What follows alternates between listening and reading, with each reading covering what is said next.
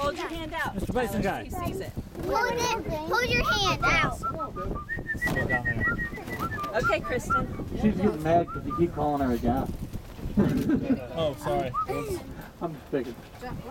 Here, girly. From this angle, I can't tell if it's a boy or girl.